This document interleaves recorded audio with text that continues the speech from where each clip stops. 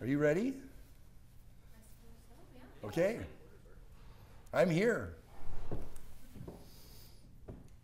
Boy, this is a short press conference. Governor, Hogan. um, a lot of what you talked about today has to do with investments, like the investments we've been making over the last few years. You also tout it as the most conservative budget uh, since the Great Recession. How are both of those things possible at the same time? Growth in the economy, uh, and, and well, and part of the reason it's less because we got less revenue because we've been doing record tax.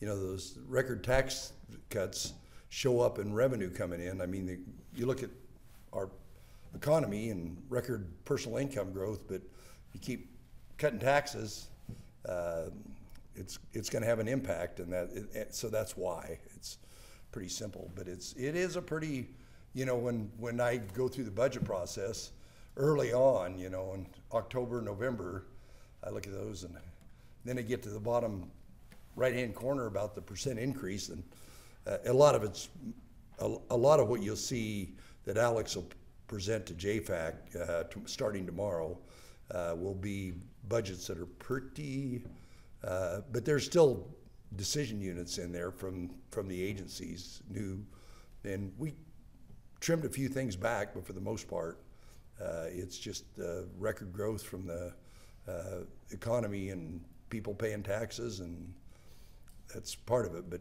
they're not paying as much taxes because we got the rates down. Go ahead. Governor, why'd you decide to prioritize school facility funding uh, with this limited growth budget? Well, I mean, the, it's, it, it's always been an issue for me. Uh, you know, and there's, there's some, I read something just this week about maybe a, a constitutional amendment proposal, but, uh, you know, we can leverage the money we've got and, and address a lot of those unmet needs. But, you know, if you take the constitutional language about a, uh, public school uh, sufficiency of public schools, uh, right now, you know, we were, I think we're dead last in state general fund support per square foot of schools. And this, you know, two billion dollars, did I mention two billion dollars? Uh, uh, two billion dollars, uh, moves us to 39th. Uh, but it's, but it, it will send the right signal and it'll help. Uh, and, and the other thing is the way the property tax is, I think it'll help some of these districts, uh, pass their bonds because the, the bonds will be smaller because of the state support. Clark? Governor, thanks so much for doing this and taking the time to visit with us after the speech today. I know it's a busy day. I also wanted to ask about the school facility initiative and how you'll work with the legislature to implement that. After you left us last Thursday, a number of the legislators talked about wanting to place spending caps on the budget, uh, really scrutinize the budgets that are going to come out of JFAC this year. And I just know that when you repeat $2 billion, uh, several of our friends in the legislature and some of the new members of JFAC will have questions about the state's ability to sustain that $2 billion. And so I'm just curious about Well, strategies for well, the two working with- billion's over ten years. Yeah, for sure. So that's, I mean, and, you know, it, not dissimilar with our bridge issue. We put two hundred million dollars a year into bridges last year, two hundred this year, we're gonna do two hundred. That, we intend for that to get the locals caught up to where the locals can then, now we'll see how that plays out. But this is similar. This is to help the schools get caught back up because they're so far behind on maintenance and, and facility construction.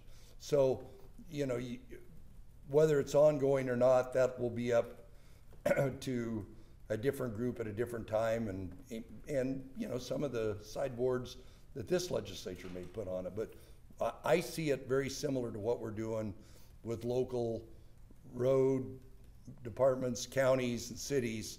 By helping them get caught up by their bridges is help the school districts get caught up on their schools. Thank you. Uh, question about the secure mental health facility.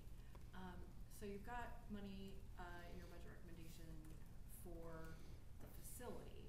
However, right now, as you know, it's pretty understaffed when it comes to, um, mental health professionals. How are you gonna ensure that just having the building isn't expected to, um, to meet the needs of people who are civilly committed? Well, I, you know, I, I will readily admit I don't know the details about the total staffing.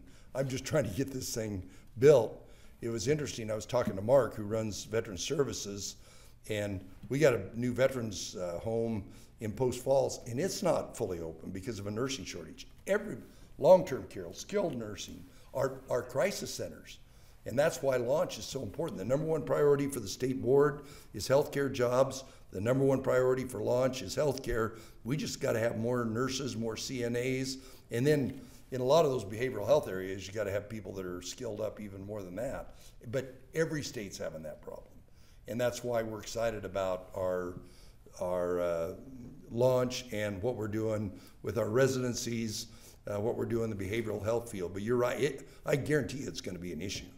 Um, but it's uh, uh, I don't know. Did Alex talk about uh, the CEC proposal?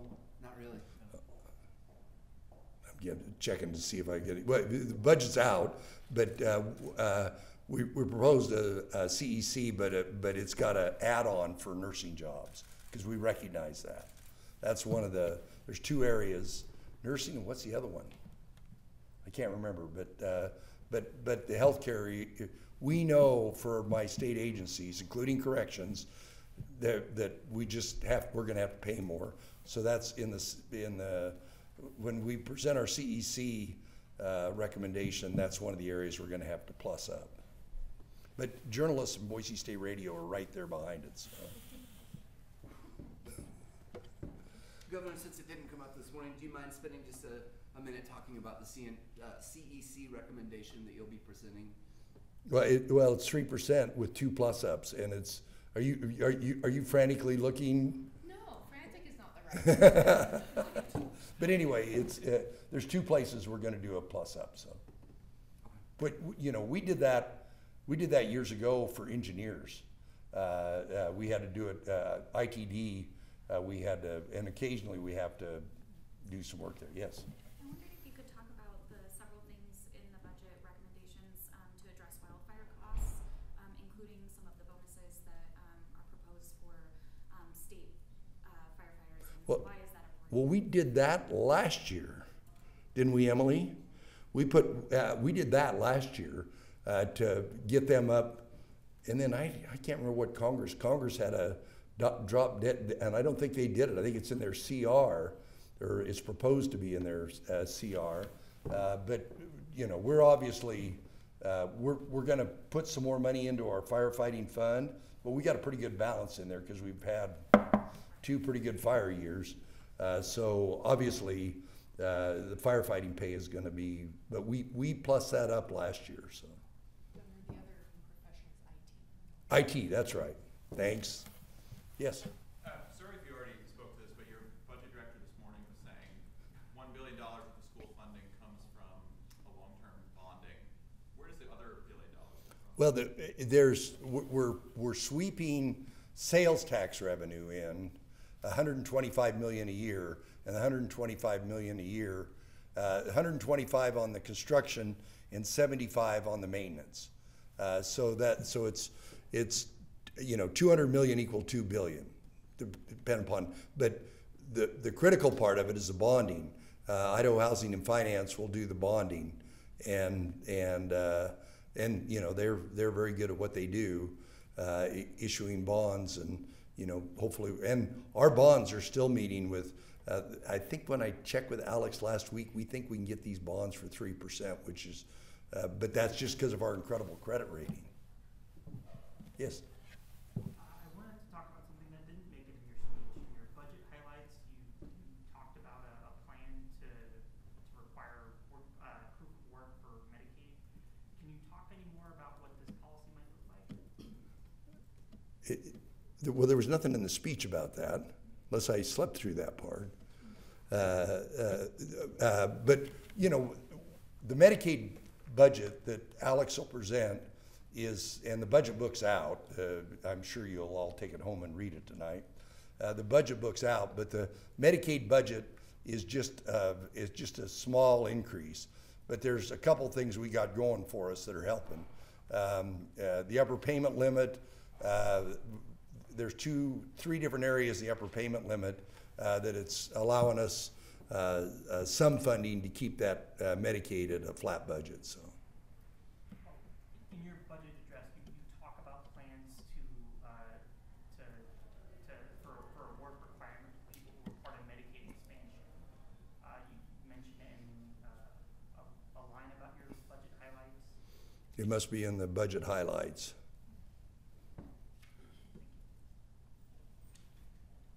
You asked the wrong guy. Go ahead, Logan. Governor, one of the things you spoke about in the speech was joining the, I'm gonna get the name wrong, but the Governor's Council on the, the, the balanced budget amendment. Can you tell us? I'm, you know, I'll bet those guys, I bet Congress runs out and balances, does it probably with me saying that. Can you tell us more about that organization and what the, what the game plan is? Well, I've actually got a meeting tomorrow or the next day with, and I, I've talked to the, matter of fact, we, uh, Senator McKenzie proposed it in the Senate fifteen or sixteen years ago. And, uh, so I've, I've got a file on it and, and I kept, they said, well, if we just talk about it, then Congress will do it. Well, that hasn't been working. We gotta get, we gotta get closer. And there's still a theory, uh, that if there's enough states, and if the states get close, Congress will want to use their powers of the purse instead of some constitutionally mandated power of the purse, and they'll do the right thing. I don't care how we get there. We've just got to change the trajectory of the federal debt. And it's, you know, we are, as, as I said uh, during the State of the State, uh, there's a lot of states that uh, didn't, you know, they took some of the ARPA money and infrastructure money and didn't do what we did and, and became dependent upon it. And they're in much worse shape. Some of these states are, are swinging from a, the bigger states are swinging from a $30 billion surplus to an $80 billion deficit. Uh, but it's mainly because they weren't structurally sound. They, they aren't doing what we're doing, which is we're forecasting surpluses for the next five years. That's something that uh, we started uh, five, four, four years ago was budgeting out for the five years.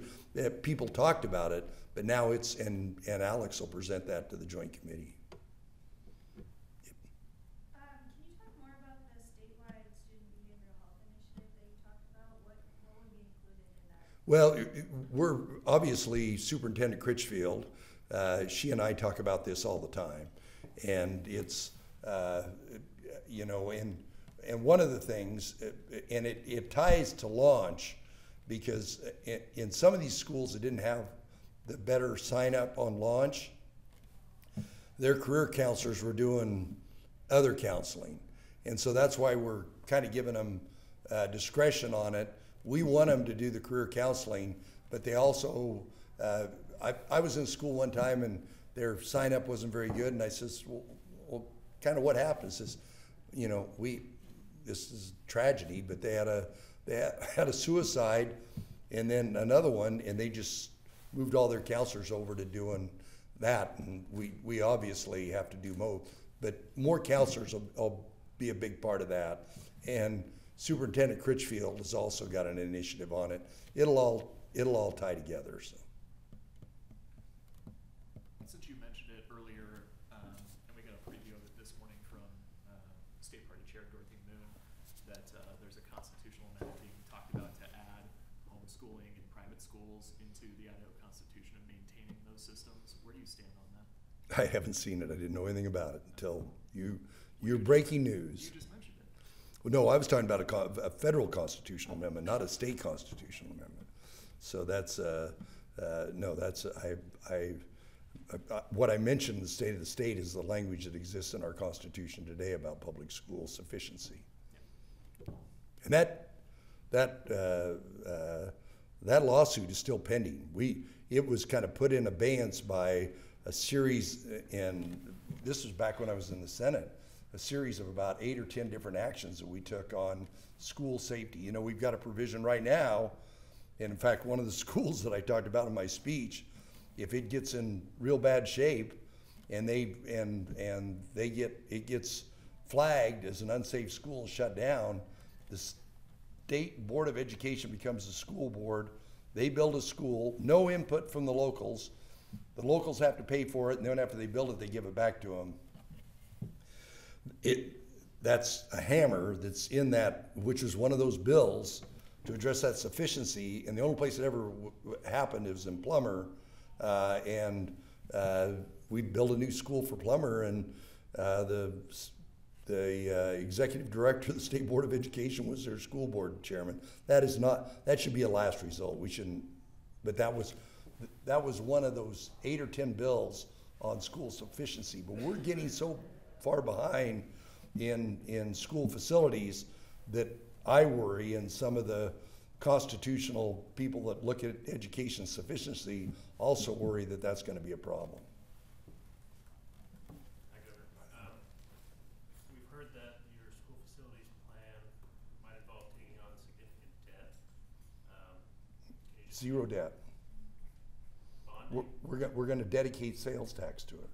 Just like, it, it, it's similar to what we do today with TECM, where when we started collecting sales tax on online sales, there was, there was a US Supreme Court that says that, that if you buy something at, uh, at Clark's store and pay six percent sales tax, or you buy something from Brad's online, you didn't have to pay tax to me, you had to pay tax to him. So There's Supreme Court ruling, so we dedicated that tech, that money first to a tax fund and then to transportation. We're taking and dedicating sales tax money uh, to pay for those bonds. So it's not, there will be bonding, but it's just like you getting a, a, a, big raise uh, on, on a long-term employer and being able to go out and, and get a mortgage because you've got that, you've got a guaranteed source of money coming in. And if you don't have a guaranteed source of money or bonding, uh, are, the, the, the bond bankers won't like it. We got a guarantee. They'll, they'll be fine with it. so. As the state leverages more of those sales tax revenues for these type of projects, like bonding and the, the legislature directing some of those funds towards schools for facilities, is there any concern that the state is getting too reliant on sales taxes? Well, actually, uh, Logan, I think if you look at it, uh, the bond levy equalization was part of that, and this will supplant part of bond levy equalization. But we are very cognizant of that, that that we don't over uh, commit income tax, sales tax, uh, fill in the blank, and and because uh, you know if you and there was there've been proposals, and here comes the answer man to the back of the room. There've been proposals to do more in bond levy equalization, but both bond levy equalization and the new revenue for school facilities will be sales tax. Isn't that right? Just nod yes.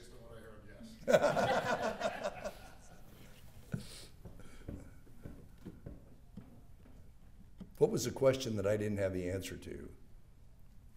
Medicaid work requirements. Oh, Medicaid work requirements. It's a waiver request. Oh, it's a waiver request from CMS. Is that waiver specific to only people who got a Medicaid expansion through expansion, or is it for everybody? Expansion, Yeah. Just expansion? expansion for able-bodied workers. What state would it look like?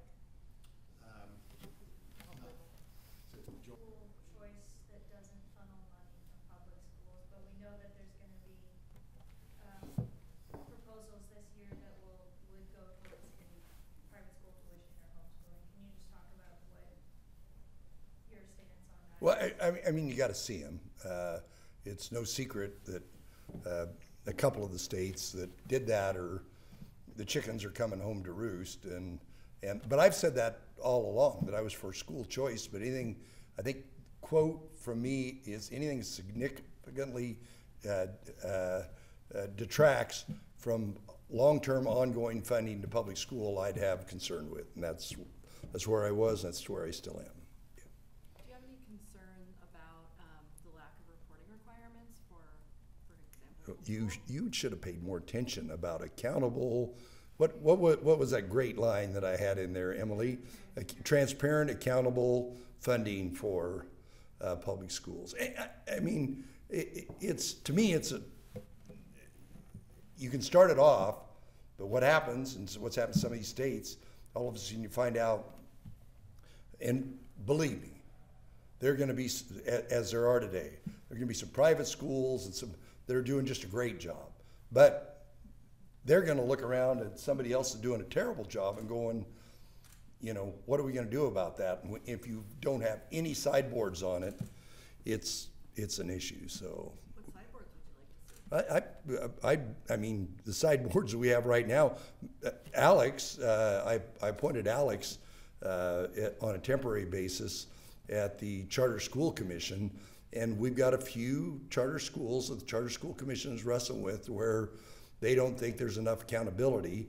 And so we're, we're trying to put the accountability into charter schools as we should, just like we do public schools and anything else. It's, it's the taxpayers' money. What about homeschooling? Uh, the homeschoolers are different, but there's homeschoolers that do, uh, and, and of course, the, the only thing we do for homeschoolers is, is the, uh, empowering parents, and we've tightened that up a little bit, so.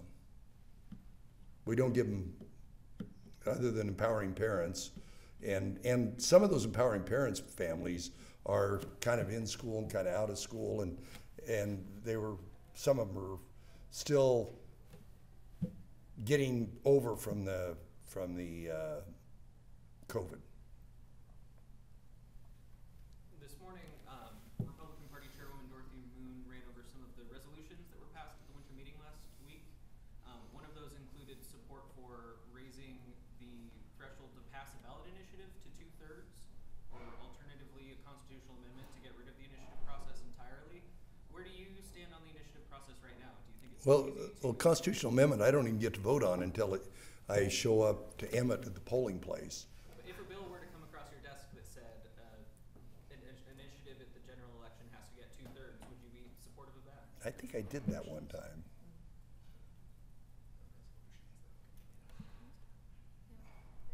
I, I think I, Well, just, they, they want it, so, there's been attempts in the past to change how many legislative districts you have to qualify. There to get have on the indeed. ballot, Which you have vetoed in the past, but this would be different to where it was on the ballot, rather than fifty percent plus one, they wanna make it harder to pass once it's on the ballot. Would you be supportive of that? I, I'd have to see the details. Yes? Uh, so we know that, uh, certain legislators are working on, um, talking about, uh, abortion ban and, and including more, um, language to help women who, uh, need, need abortion for healthcare, that these are women that wanna have children, they end up in emergency situations. Um, are, are you supportive of expanding those protections to, Well, well, both uh, uh, Chairman Crane and even in the last week, uh, Speaker Moyle have talked about, uh, you know, looking at, there's, there's a lot of moving parts there because there's court cases that have things stayed and, and, uh, but I, I, I am empathetic to both uh, Chairman Crane and Speaker Moyle's concerns about it, particularly fertility issues. Uh, do you have a pos- position on ranked choice voting in the open primary? No, I haven't. It hasn't made the ballot yet.